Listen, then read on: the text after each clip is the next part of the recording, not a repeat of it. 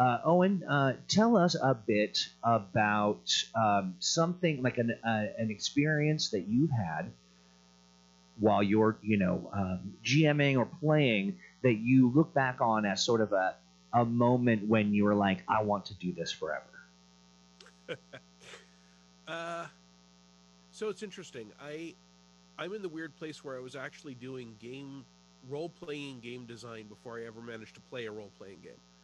Um, and so I was hooked on that end of things pretty much immediately uh, because my uncle Lucian had a copy of the first edition AD&D Dungeon Master's Guide, and that's all he had. And he told me, this is 1982, uh, he told me if you can figure out how to play this game, uh, we can play it. And I was able to look through the book and see that there were things that you needed for a player character, things like armor class and hit points and attack rolls, that weren't included in that book. But there were notes about monsters having those things. So I wrote up rules for players based on the information on monsters, which was just simple one line descriptions of, of stat blocks.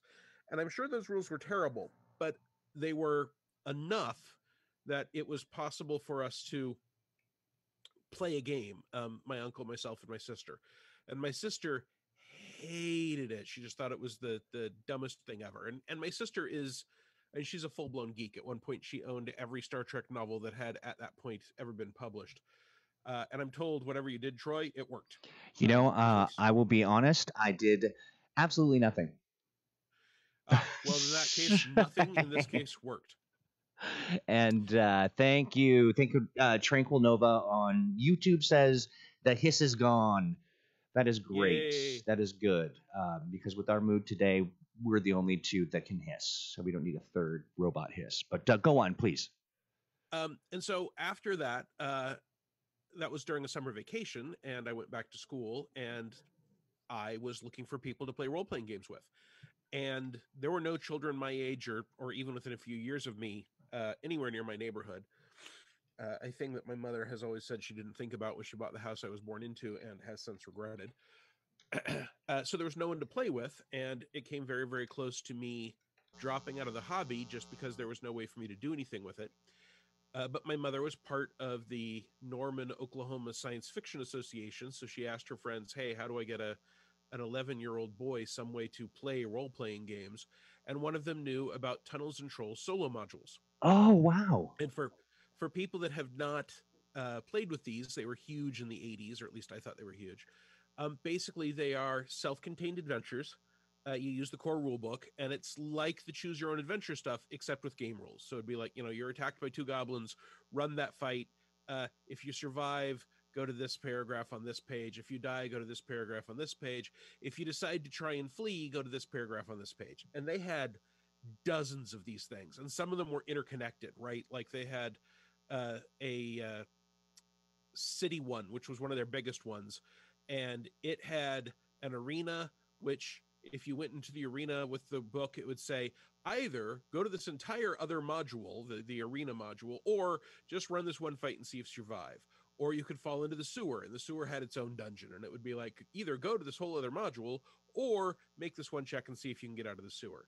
Uh, and there was a tower with a mad wizard that had a through the looking glass adventure and so those were all interconnected.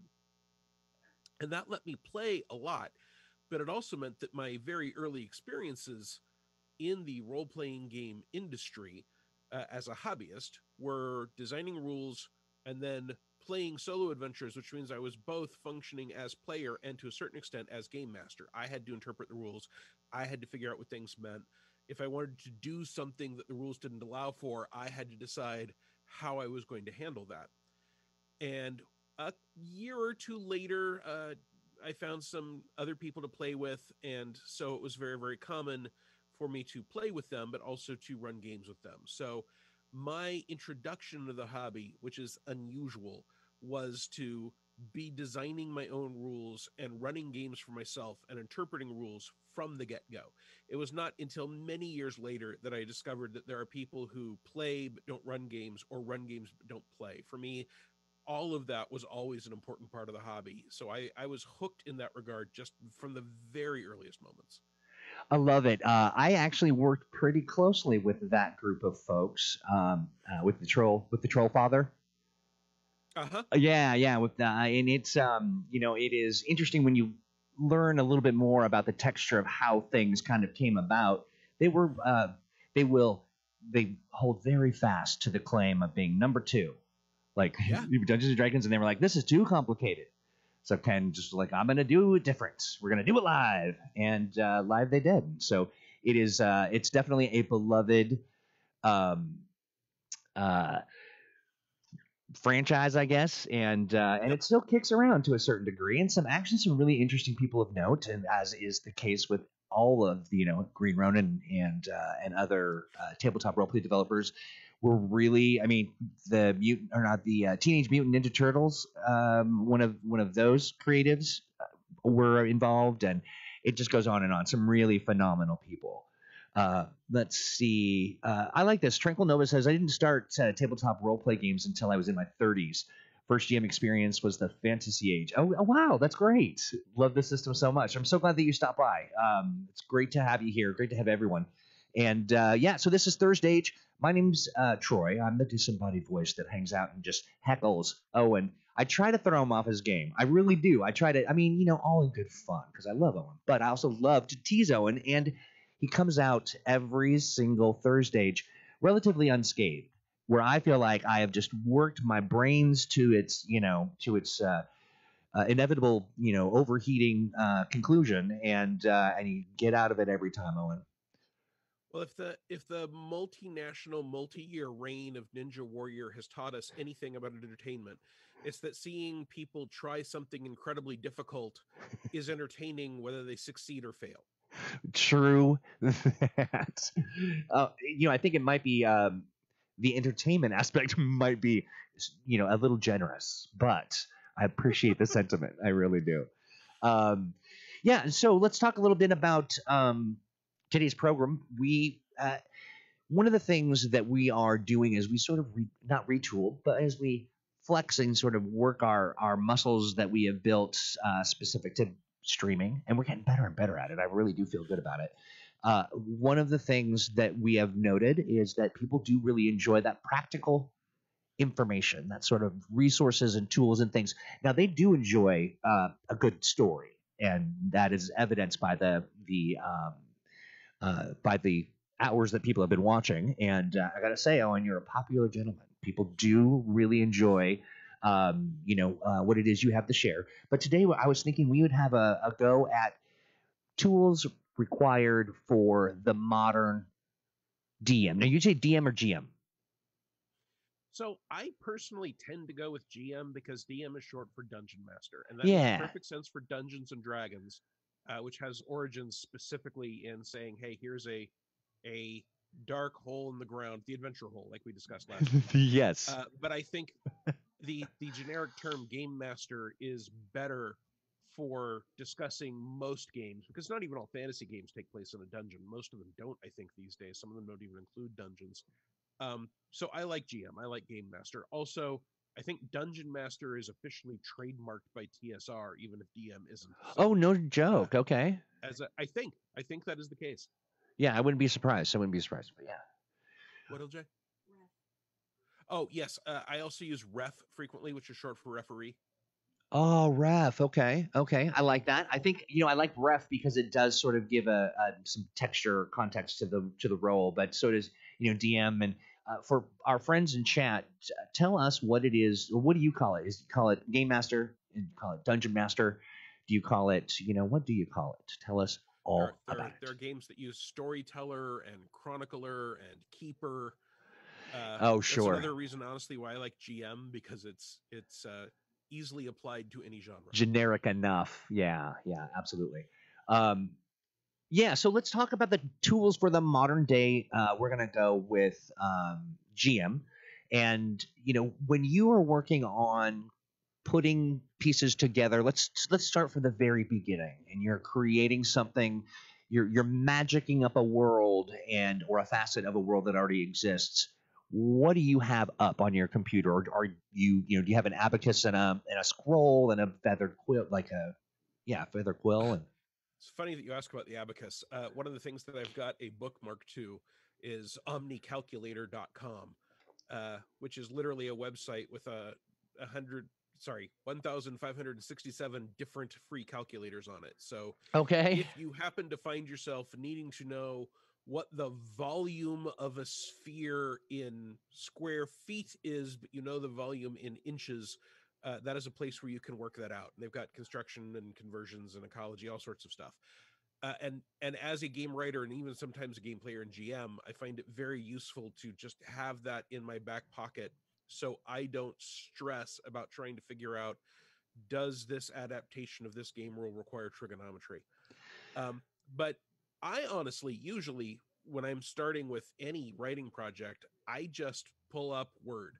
Uh, I used to love WordPerfect, which I think was a universally superior program. But as a freelancer, most of the people I wrote for required stuff to be turned over specifically in Word files, not even RTF.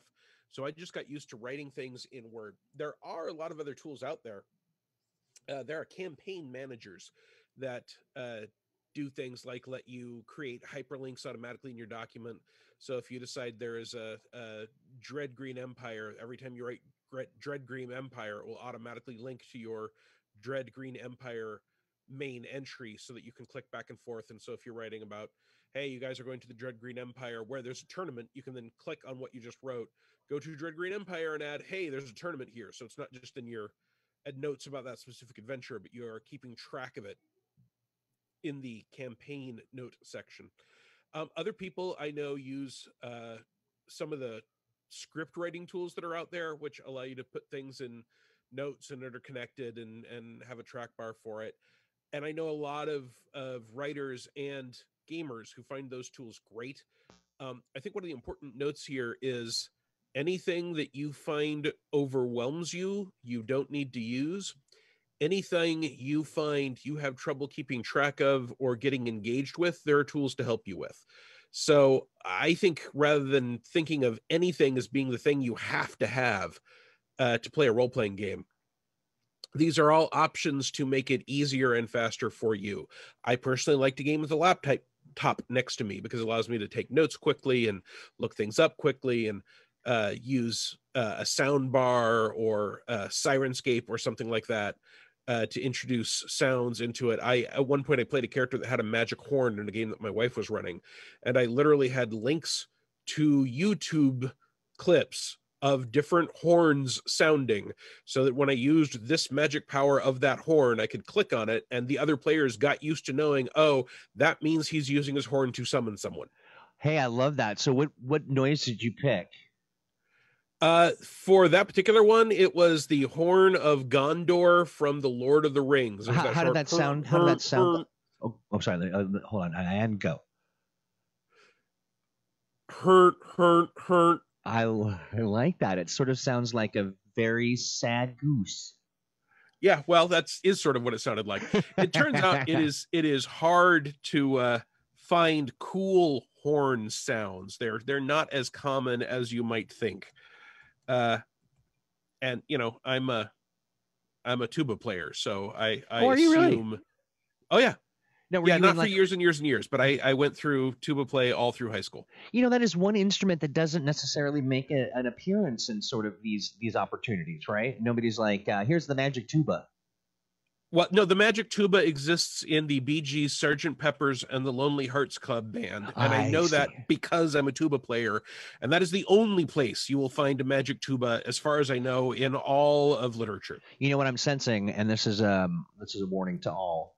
Respect the tuba, because Owen's serious about it. Very serious.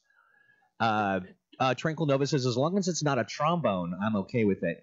You know, Tranquil Nova, I agree. When I uh, I was in, uh, I was just a youngster in school. I picked the trombone, uh, and it was. Uh, thank you, Matthew Lee. I see that. We're gonna we're gonna um, do. We're gonna actually just drop a bomb on this um, audio and and uh, and sort it out. But right now, um, for everybody, uh, we're we are preserving your left ear and only listen in the right. And um, and if you're hearing it only on the left, uh, just turn your headphones around and then you'll hear it on the right.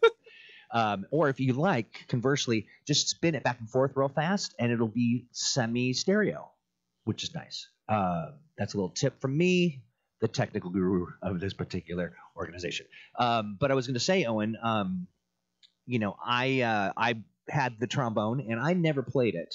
I only used it as a weapon, and then I was subsequently asked to depart.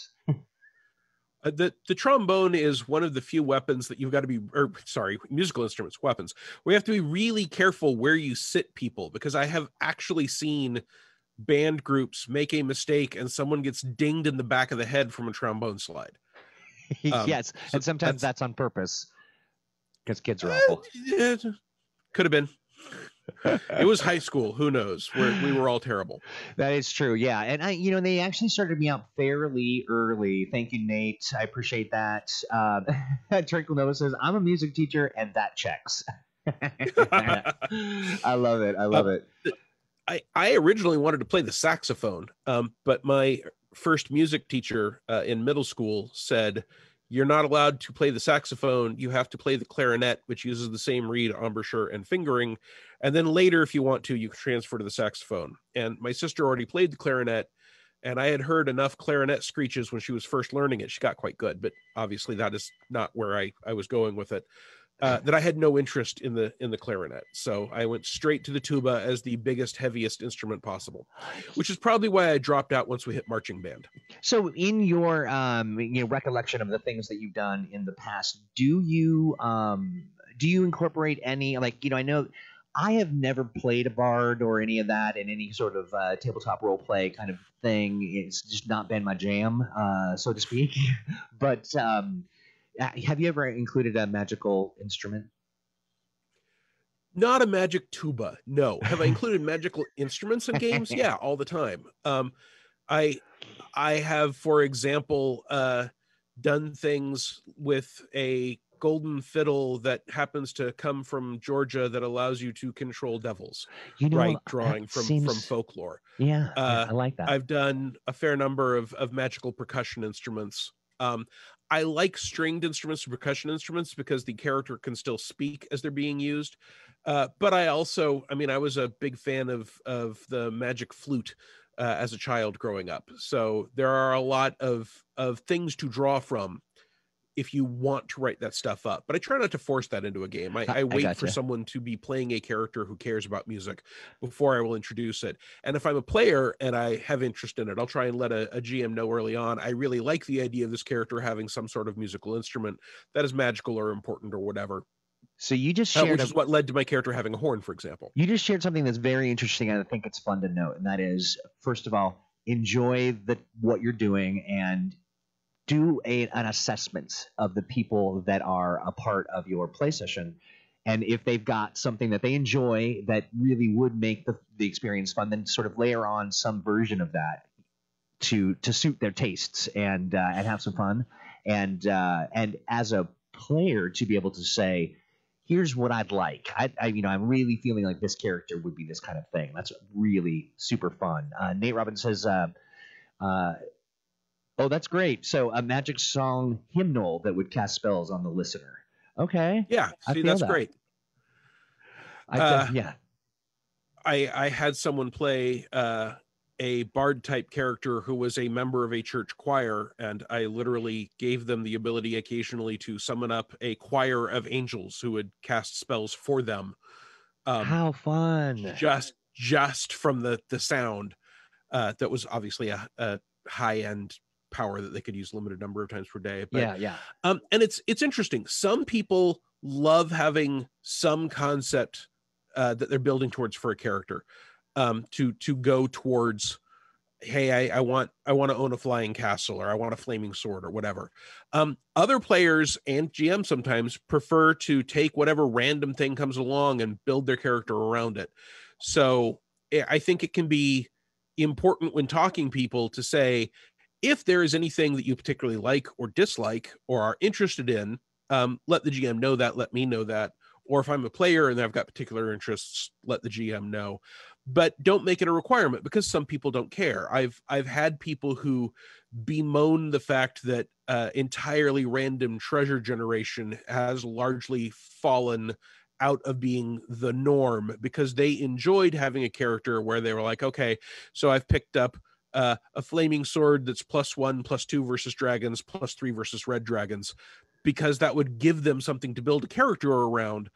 Whereas they may not have ever thought of making a character who was anti dragon, anti fire, being given these things gave them that edge. The flip side of that is that there are people who hate having their characters be largely defined by the treasure that they pick up because then they figure it's not about my character, it's about whatever I'm carrying. Uh, and really have some vision in their head where they're saying, I, I want a character who's all about cold and ice and and and has a, a ice weapon, whatever. And if they tell the GM that, that is something that a GM can look for opportunities for. I personally, because I write adventures and, and game material, I tend to craft these things custom or at the very least tweak pre published adventures uh, with that kind of idea. So even if I'm running an adventure that was previously published, if someone said, I really want to be uh, a very ice cold winter based character and i'm reading through and they're like okay and here's a spear that allows you to do uh, thunder damage. I can just say well i can just take that and change that to cold damage and and then it'll be something that the character's interested in. I like that. You know actually i want to make that into a t-shirt. I do thunder damage. I'm not sure what that would mean but it sounds flatulent. Yeah uh there there are there's a reason why i've got uh, game night quotes on my social media, right? There are things that people say that are hysterical, and frequently being taken on text just makes them funnier. Absolutely, yeah. You uh, that's one of the one of the many uh, gifts that I bring to this program and uh, to life in general, and to you especially. Uh, yeah, Nate Robbins said something very interesting. So that magic hymnal uh, that uh, that he was talking about, um, the no, Nate. It sounds to me like you're saying the the singer of that w- didn't require magic power. It was the hymnal that made it. Um, Stan Brown says, "Pull my finger. I do thunder damage." How crass, sir! How very crass. I never. Um, I, I mean, if you if you look at medieval manuscripts with illustrated pages, the idea that there's a magic horn that does thunder damage if you pull the user's finger is well illustrated as a very common concept, which of course was picked up by Monty Python pretty early on. True so, that. I also want to uh, have everybody look upon the new overlay and let me know what you think about that. But if you look up in the right hand corner, you're going to see um, some thunder damage guy. That's what he's doing right there. He's up at the top. He's got a horn. He's ready to play some thunder damage. Um, real fast, let's see. Nate says uh, we once had a huge uh, a hug. We had a hug. We had a hug. Um, it was uh, the mis- It was a uh, cursed hug. I remember. I'm processing this. Um, I, am guessing it was a hag. Oh, hag, a hug hag. Once had a hag cast a spell of misfortune and cursed the party members, which means all the magic items they'd found in 24 hours. I want to. I want yep. that on a t-shirt. Hag. Hug hag. I'm a hug hag. I'll tell you, when this pandemic is over, every single one of you, whether we've met or not, I'm going to hug you, and it'll be an extended hug for every human being. I'm going to be hugging people for the next three years. I miss everyone so much. So I will be the hug hag.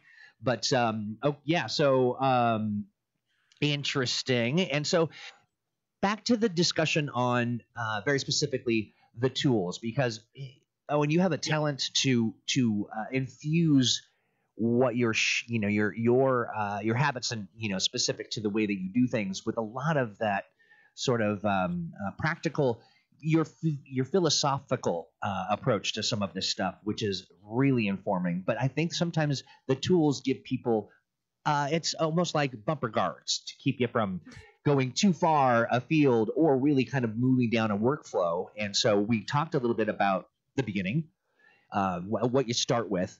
As you move into sort of uh, the crafting and creating part of that, uh, what are some of the resources that you have up or things that you use, and how much of it is digital, and then how much of digital replaced what you used to do? Because you know, I, I imagine being surrounded by dusty tomes. Yeah, um, digital has replaced most rule lookups for me because digital things tend to be more easily searched right? If i've got a copy of Fantasy AGE and i have it pulled open uh, it is easy for me if i'm remembering oh isn't there some sort of rule about the healing action? I can type in healing action and everywhere those words show up in that sequence gets pulled up and i can look at. It's also a thing where if i know that i am going to have a monster that has uh, two different arcana I can pull up multiple copies of this one rule book and have one set to the first arcana and the other set to the second arcana on different tabs on my desktop so that I am easily able to click from one to the other um, even even when it's not my the, the, the npc's turn for example if there's a pause or someone's trying to decide what to do uh, i can remind myself what their options are same with having their stat block brought up uh, i also tend to use digital tools to keep track of uh, initiative order and how much damage people have taken. Um, but the flip side of that is that there are things that I like physical tools for better. Uh, anything that is a piece of information that should be relatively obvious at a glance or that is important for people making tactical decisions tactical decisions i tend to prefer to have some sort of physical marker for so for example uh, I and my group normally use miniatures and maps, even for games that don't require miniatures and maps. Like Fantasy AGE is ah. designed that you can use them or not, however you prefer.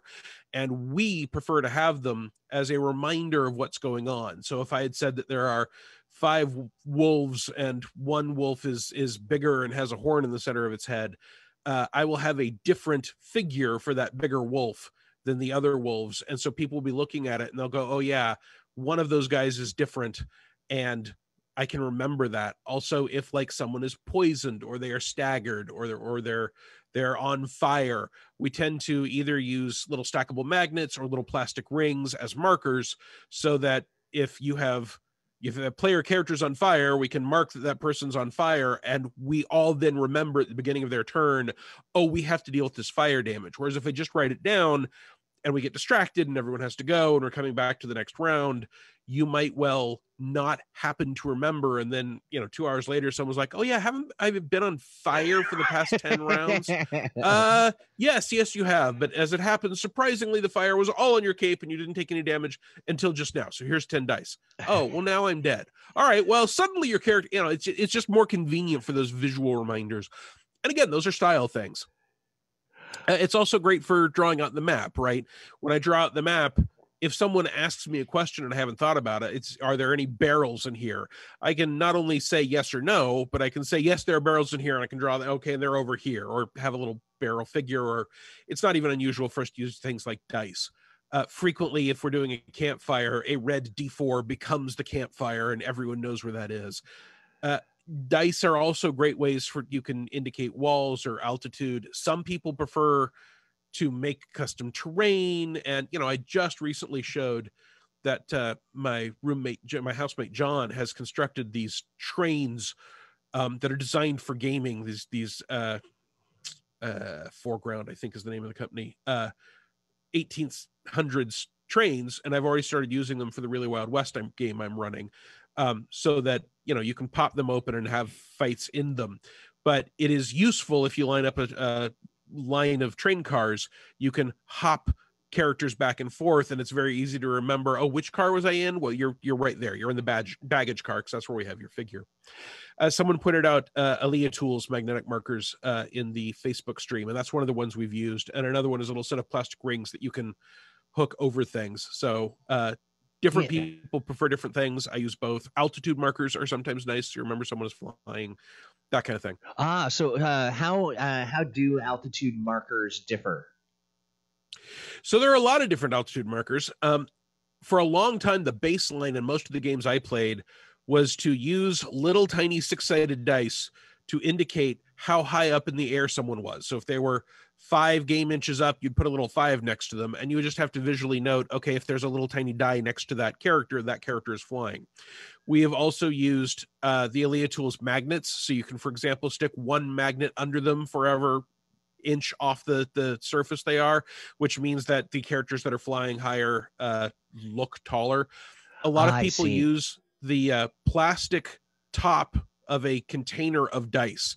That's a big rectangle that's Ah, clear yeah. plastic, and you can actually put that over smaller figures in case you're flying over them and put the figure on top. Uh, and then there are people that make actual acrylic flying markers that have like a big, you know, three by three platform and another platform on top, and little scrunchy bands that you can slide up and down a series of numbers scratched on the side to tell you exactly how up, high up they're flying. So it's a combination of what is convenient and fast and what you have on hand and what gives you and your group the visual information that's most useful to you. I want to thank everybody who's tuning in. This is uh, Thursday Age with Owen KC Stephens, and I'm the disembodied voice of Troy. And the question we're talking we're talking about uh, resources and things that make the job of playing or GMing um, uh, a little easier, a little more fun, so you can focus on the things that you enjoy most. I have a question for people who are watching, and that question is this: What are some of the tools you use? Jonesy shared a link to Alea Tools um, we'll, we're going to share all these links and uh, and uh, credit you, and then um, you know we'll check out those products. I mean, there's a lot of stuff out there. Uh, share some links. What is it that you like the most to help uh, sort of, even if it's just, um, even if it's not a link to a, a product, but it's a a spiral notebook or the thing that you just got to have or you feel like you're you know uh, you've walked into school without any pants on you know ready to do that big presentation to everybody. What do you need to get the job done? And um yeah you were going to say something owen?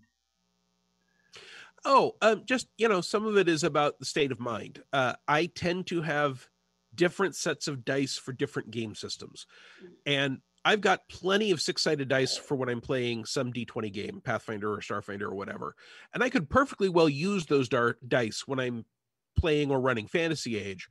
But I tend to prefer to have different fantasy age dice. And some of that is because sometimes I want to train my dice, which I'm aware is 100% voodoo uh, superstition.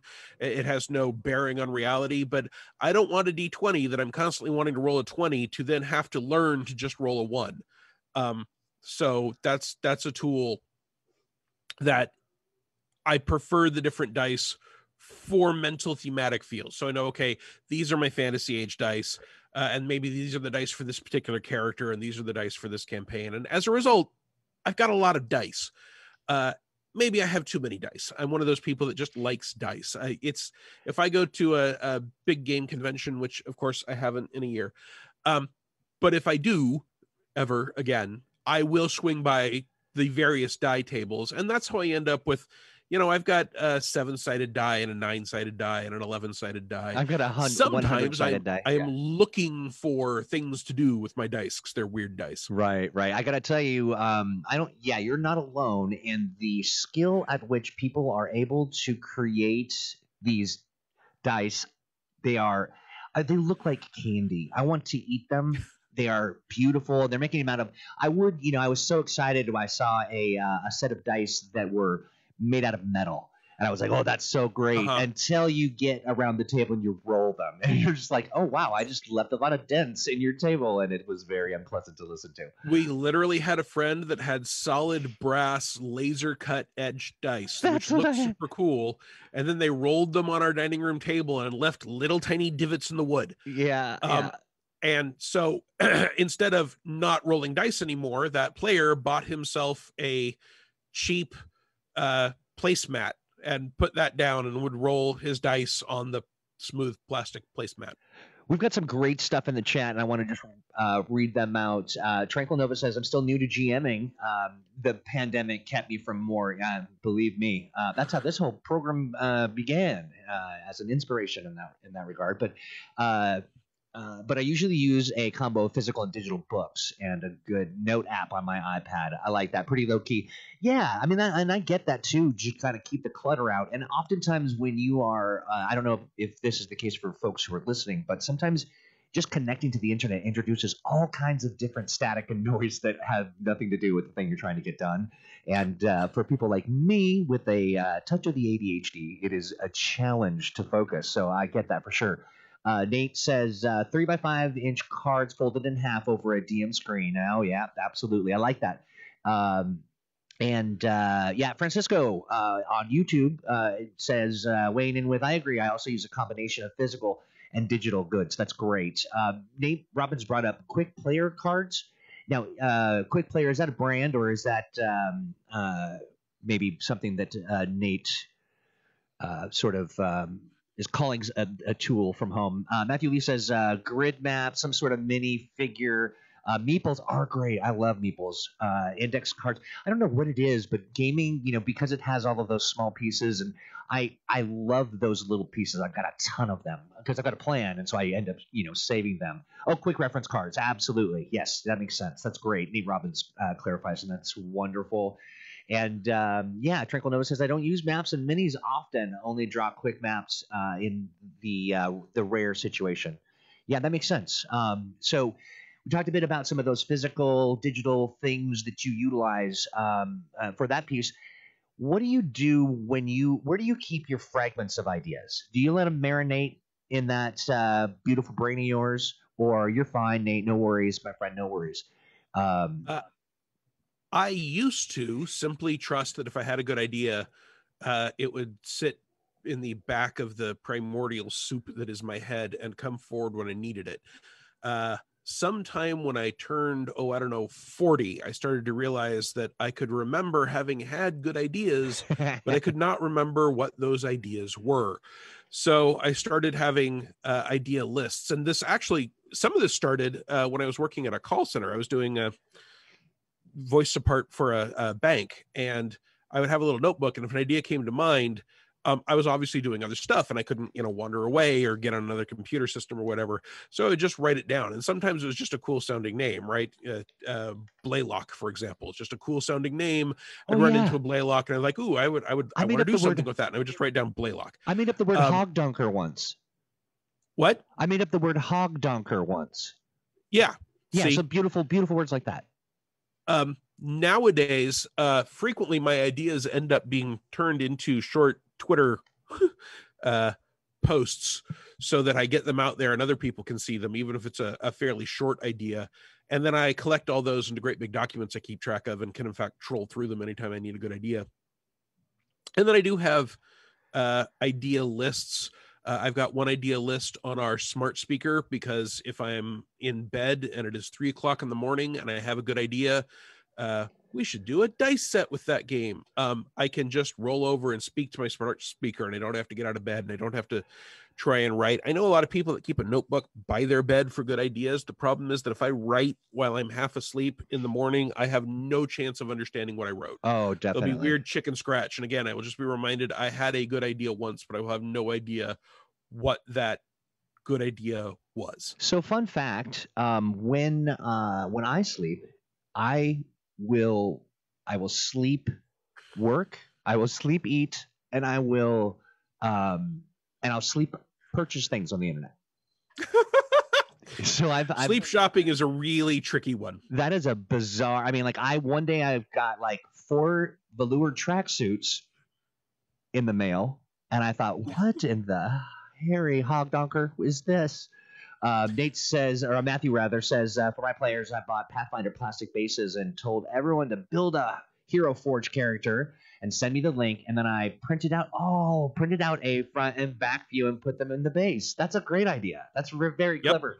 And I like too that you do that because it creates the, a sense of ownership, not just of the character, but of the character in that space. Um, I think that's really a great context I have been super fortunate with who I game with on a regular basis on many cases. Um, there are multiple artists who I have had in long running campaigns, uh, including Jacob Blackmon and Stan uh, and Markham Curley. Uh, yeah, some of our favorites. Not been at all unusual to find that the artists uh, end up drawing illustrations for all of our characters. Um, for that matter, uh, and I talked about this online at one point. Uh, I'm in a game where there's a group of heroes known as the Rune Breakers, and my wife, who's an artist, a, a graphic layout person, uh, actually made the sigil of the Rune Breakers, where she designed what a dragon rune looked like in that game, and then broke it. So we have this visual representation. Uh, of what our characters are using as our, our sigil and our badge and putting on our heraldry and stuff. So when you are creating this experience and you're really kind of uh, let's say it's a you, have your I'm certain you have your group of friends where it's a little more casual and a little maybe um uh, uh, a little looser because you know that they get it, so you don't necessarily have to be so stringent. But do you ever find um do you ever do something like a big showstopper event or a big thing that you're like the big reveal uh, beyond just like the the plot point? But are there other kind of tricks and, and things that you do to sort of amplify that uh, that energy? Sure, uh, it depends on on what that what the big reveal is. Um, again, I'm a very visual person, so uh, for years and years and years and years, my friends have joked that if you buy me anything, be it a toy or a miniature or a, an album cover, um, that has something that could show up in a role playing game, I will probably produce that in a role playing game at some point.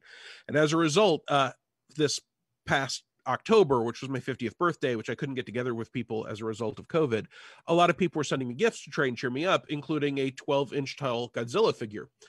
And all of my friends who actually live here in the house or, or pop over for a social bubble looked at it and they're like, we're going to have to fight that, aren't we? We're going to have to fight a 12 inch tall Godzilla. well, that's the sort of thing where I will put that within arm's reach possibly for weeks prior to planning to use it so that everyone gets used to it being there. And then when i say you know you the, the ground's shaking and you hear the roar and i'll reach over towards it and everyone's like no! Always going for the godzilla figure it's a Tarrasque um but i've also done things like uh i've i've taken small figures and I've printed them on sheets of paper and then folded those into tents and I've been like, it's a 72 foot tall elephant. And I've got, you know, five sheets of eight and a half by 11 paper to represent it. Um, or if there's uh, art that I've custom made, I, I've will commission an artist and and pay them for art for things that I'm putting in my games. Like this is a major villain. It's a it's a six-armed snake woman with with six shot pistols and i will get someone to illustrate that so i can say she looks like this specifically. Um, and i really find that those things can make someone or something more noteworthy. The more firmly players have an idea of what something is in mind the more likely they are to latch onto it. Yeah. weirdly another thing i've discovered about that is that frequently that means I should not use complicated made up words or names to describe something because a lot of my players players a lot of my players just won't remember that. Um, like I have had in multiple campaigns of mine, the Eternal City, the Bridge City, Sorbak Kak Delbaz.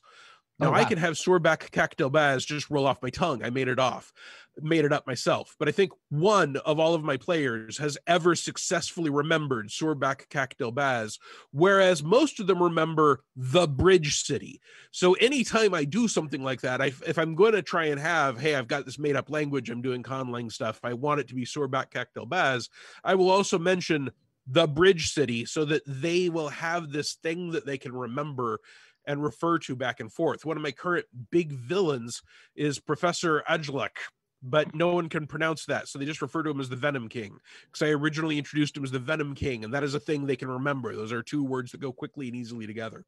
I love that. And what's interesting about that as well is that uh, it, those are some some low hanging fruit when it comes to get allowing people to feel some ownership. Uh, that is much like life. You know, uh, um, there are people. You know, uh, complicated things to say get shortened, and every city gets sort of a nickname, and and depending upon your particular you know, um, uh, you know who who you are within the you know within that culture. You call it all kinds of different things, and so that I love that. And then taking sort of what the players will do as a shorthand and kind of maintaining that. Uh, something that uh, is interesting. Uh, Francisco brings up, and good to see you again in uh, in our chat, Francisco. Uh, uh, that they GM Blue Rose and the Q Shop dice for each game. They're fantastic. Yeah, those are the Blue Rose ones. You know, Blue Rose has that aesthetic that you know I've said it before. It's just like a Xanax for the eyes. It's just very soothing.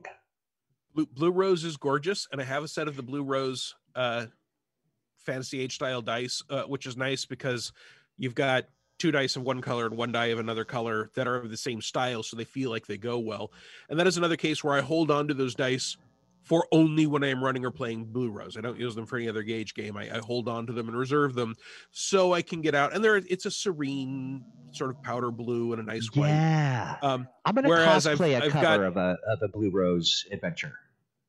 Do what now? I'm gonna cosplay the cover of a Blue Rose adventure. I'm just gonna. Oh, good luck, man. Yeah, I'm just gonna be floating on a cloud of you know just bliss. Oh, Yeah, our just- Buzz is just back. remember to. Spray paint an actual deer gold. Yes, a living deer, I think, is probably the way to go with that because I want us to be majestic and friendly. Ooh, I hear that. Wowzers. Um, so, you know what, my friend Owen, um, we have uh, a couple, and then it stops just like that. It's like a magic trick. I have no idea what I'm doing, but I will continue to do it and or not do it. Um, as okay, I don't really have, I don't have anything in front of me, so I must be doing it with my mind. Um, but I wanted to um, I wanted to do a couple things. First, as we uh, kind of wind down our, our program for the day, I think we've got a few things that we would like to to rep. Some things we want to share with some folks. And um, do you, off the top of your head, Owen, can you think of anything that that you'd like to get some people involved in? Well, uh, sometime soon we're going to be doing a playtest, which I will definitely want people to be involved with. Uh, the details of which are being sort of slowly rolled out as we iron them down. uh, but I'm sort of hoping that's something we'll be talking about maybe as a, a whole episode in a week or two. Absolutely. And so I'm going to say unto people watching, and if you're rewatching this, if you've watched it before, we'll say Monday, um, Monday the uh, the what? Um, what is next Monday? What is today? What are we doing? What is this? Um, let's see. Thursday, Friday, Saturday, Sunday, Monday. Was that the 24th? We'll say the 24th, regardless of that Monday or Tuesday.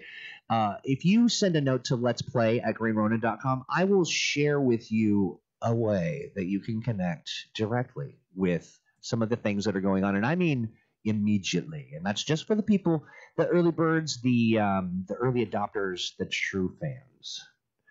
Yeah, Uh, if, if yeah. you are if you're a Fantasy Age fan and you've got a group and you would you would be interested in playing some Fantasy Age stuff, uh, drop Troy a line. yeah, um, dude, yeah, Troy, yes. we uh we have some art that I have put you in our Slack. Oh no, I cannot wait. I'm gonna I'm gonna look into that and um, yeah, so get get in get in on that. Let's play at greenronin.com. Now, if you're listening to this after the the 24th, um, I'm so sorry. It is just um, yeah, it is just too late, my friend. But uh, maybe next time. Uh, you know, in, in the interim, it never hurts to ask. Um, Well, I mean, drop Troy a line at let's play at greenronin.com anyway, just Right? just so he knows that you love him. Yeah, yeah. Well, it really, you know, I am just the um, I'm the the bucket for which all the uh, love for Owen goes into. Well, that sounds odd. I'm gonna rework that. We'll workshop it. But if you want to share, yeah, that let's Owen let's workshop well. that a little bit. Yeah, That's- that's not uh, that's not my favorite. Why not? Not my favorite thing. Um, this is uh, waiting for this. oh, this is so good. Um, I'm gonna, I'm gonna, I'm sorry, I'm laughing. I'm talking about a thing you cannot see, but I will definitely make this ready because it's, it's a glorious, it's a glorious thing. Um, but yeah, so we've got that cooking. I want to say something else. Um, one of the things that we have done since the pandemic is we're embracing the live streams and we're embracing uh, doing you know uh, some engagement stuff and really getting out there and and connecting with people in a in a more you know we just find that when we don't have the opportunity to do things like go to a convention and see you face to face as much as it leaves you sort of bereft of you know you know the the things that we're creating and the people that create them it leaves us a little empty too and so we're just trying to fill the adventure hole by doing a lot of uh, events and things. And Francisco, uh, you're the one that clued me, or that that sort of cued me to say this. And so I, I definitely, I'm speaking right, Troy the Love Bucket. Stan, you shouldn't probably draw that. Do it, draw it, do it.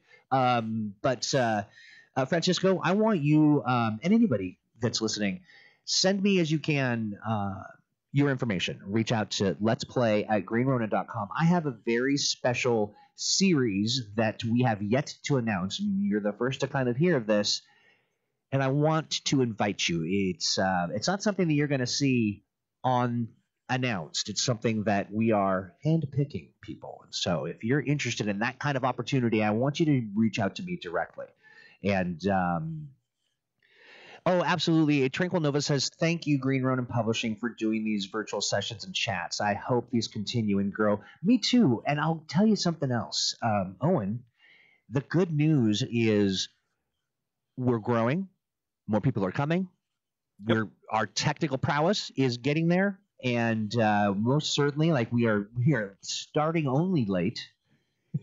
And only in the that window of like five to ten minutes. And uh, but we're getting better at it. And we certainly are going to expand and grow and uh, think of some new fun things to do. And you know a big part of that is your suggestions. And so um, you know and i do want to say to you thank you, you the, the generosity you show by coming and being a part of thing like you do it every time and you know sometimes you and i both have a case of the mood poisoning but i'll tell you at the end of it my uh my dopamine levels are high. I've uh i've definitely come away happier There's- that i'm not. there's a significant advantage to being able to reach out to people uh, virtually in a way that is archived right? I i enjoy talking to people about games and gaming. Um, i think games and gaming are important and one of the one of the ways that we can actually bring people together and try and improve the world and and learn something about ourselves and and about the people around us. Um, and no matter how many conventions a game professional hits you can only talk to so many people. And frequently whatever you say only exists in their memory and their notes right? So uh, and there are people that just can't go to conventions. There are there are people with mobility issues. There are people with financial issues. There are people with time issues. So the ability to put something out uh archive it on youtube and and and whatever uh, and have people be able to to click in if they have time or watch it later if they don't it's a great way to try and get this stuff out there and yeah i hope as time goes on, we'll be able to start doing things like announcing our topic in advance and uh, being on time and quite possibly having having stop, a, a stop showing better people how we make sausage i'm just kidding Yeah. I'm Uh, well, but again, I, a I- secret. I Uh, personally like that this is uh, a bit rustic. If I'm going to be well, honestly, British so do I. I want people to enjoy and to hear some unvarnished stuff. But the, yeah, I think Yeah. you're. I think you're also right that we need to also add a little bit of the, um, you know, a little pre-prep, which I have been doing. I've been getting better at, like this beautiful overlay, which I'm kind of a fan of. I really do kind of enjoy that with our, um, you know, our thunder thunder damage. And um, you know, speaking speaking of thunder damage, I want to uh, to share. Um, let's see if I can do this. Uh, Stan, you are what I would like to call a, a delight, and um, you have drawn a picture here. I'm going to swing into it. I'm hoping that all the audio um, continues, but if it doesn't, take a look, and you will enjoy this new piece of artwork. Pull my finger, says the gentleman to the dragon. And the dragon's like, no, thunder damage. It's my pain. Can everybody see and hear me? Um, let's see. Oh, everybody, uh, Jason is here. We are going to um, start the show over. We're going to start it over. Jason's made it. Um, finally, Jason, we've been waiting for you for um, over an hour. And so, you know, that's fine, though. I mean, that's great. Can everyone hear that? Can you hear it, Owen? I hear it. I really like this music. It's a little kind of, um, it's kind of fancy, kind of jaunty, if you will. And I like to think, Owen, of you as jaunty. It, it is very 50 sitcom jaunty. It is why I yada. Um, that music means that it's time to say ta-ta, as they say. And Is that what uh, they say? they, you know, some people. Um, I also hear that they're liking uh, on it like a bonnet. Okay. Yeah, bonnets are big. Bonnets are big right now, on. And so next stream, I would appreciate it if you could step into the now and put on a bonnet. Um, WandaVision, sure, I mean, if sure. I'm having a bad hair day at Bond, it's probably better than my other options. Yeah, you know, and for people like me, who have got uh, very curly hair, um, every day is sort of a bad hair day. Shades of a, you know, shades of a bad hair day. But we have come to the end of the program. Owen, again, thank you so much for doing this. I, I, I see you, sir, and I see what you do, and I see your love for the game, and I see your love for the people who play it, and I see you do this because you want to be the person doing this. It's, uh, it's a joy to watch, and I do appreciate that. Do you have any, um, any thoughts before we call it a day? Nope, I'm good. All right, friends, I want to thank you so much for hanging out with us. It's truly, truly appreciated. Uh, remember, I've said some pretty important things. One of those being send me a note, let's play at greenronin.com. It is really important that I hear from you if you want to get involved in some things that are um, very special. I think you'll enjoy them. But if you don't send me a note, you're not going to know about it. So do so, and we will see you. Um, I will. I will hear from you. You will. You will hear my voice. You will not see my body because I am disembodied. On Monday, we have Mutants and Masterminds Monday. Um, I also want to remind people that um, we have uh, we've launched the Patreon for Mutants and Masterminds. And uh, oh, and did we do an article today on um, staff Patreons? No, it's going to be coming out soon. Nice. There'll be an article that'll show off uh, staff Patreons. You know, this is a, a difficult time, and I gotta tell you, our content creators are, yeah, content creators in general. They'll they're gonna save the world, and uh, and I think we need to support them in all the ways that we are able to and can afford to. Uh, so we'll share some of that information. And uh, Mutants Masterminds Monday is at 2 p.m. Pacific, and that's generally when we do our things. And we follow up again with Thursdays with Owen KC Stephens, uh, dear friend, and just a joy to work with and to listen to. Uh, I truly appreciate it, and we will be back later. Thank you so much. Thank you, Owen. Thanks, Troy. All right, Bye, bye folks. bye.